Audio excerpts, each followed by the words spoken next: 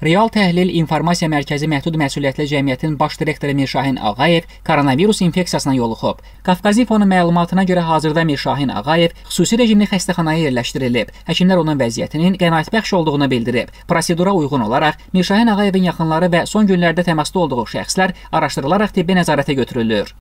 Real Təhlil İnformasiya Mərkəzi Məhdud Məsuliyyətli Cəmiyyətin baş direktoru Mirşahin Ağayev koronavirus infeksiyasına yoluxub. Qafqazifonun məlumatına görə hazırda Mirşahin Ağayev xüsusi rejimli xəstəxanaya yerləşdirilib. Həkimlər onun vəziyyətinin qənaətbəxş olduğunu bildirib. Prosedura uyğun olaraq Mirşahin Ağayevin yaxınları və son günlərdə təmasda olduğu şəxslər araşdırılaraq tibbi nəzarətə götürülür.